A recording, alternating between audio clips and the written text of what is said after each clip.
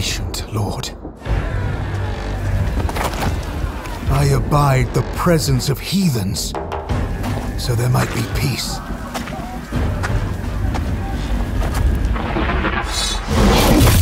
And oaths were broken. I forgave. I even lined their pockets, but the Danes will not be sated.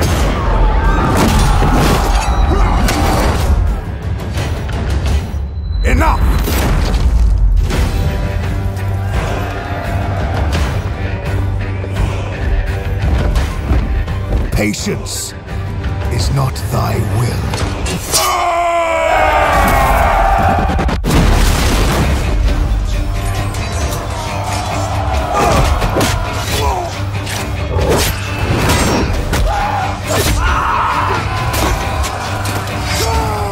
It is the Kingdom of Wessex! And my divine